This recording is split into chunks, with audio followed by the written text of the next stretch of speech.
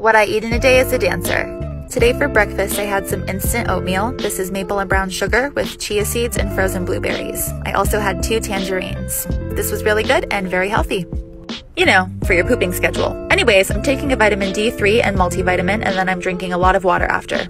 For lunch today, I'm having a burger. So I have mustard, ketchup, I have my burger, Munster cheese, bacon, arugula, and dill pickles with a side of carrots. Something about burgers hits different for me.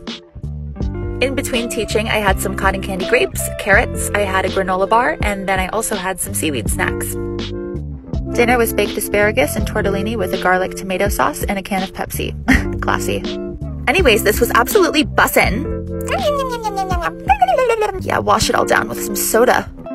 For a snack, I had Chobani yogurt, frozen blueberries, chia seeds, and maple syrup. This was really good. Uh, actually, I was constipated.